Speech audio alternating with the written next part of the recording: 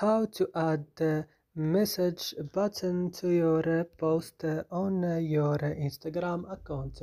Hello guys, how it's going today? I will share with you how to do this. Just watch this video until the end. So let's start.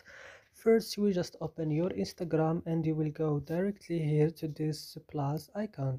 Then, for example, I will choose a picture here for my post. For example, I will take a picture now and now I will click here and then I will go to add a message button and I will click here and click OK.